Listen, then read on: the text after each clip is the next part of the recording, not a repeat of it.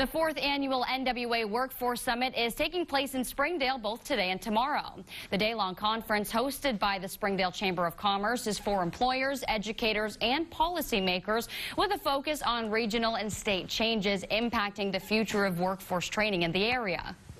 An event like this gets everyone together so we can share ideas and you know start to really form a plan for the future. How is Arkansas going to be the leader uh, state for you know among states in workforce development?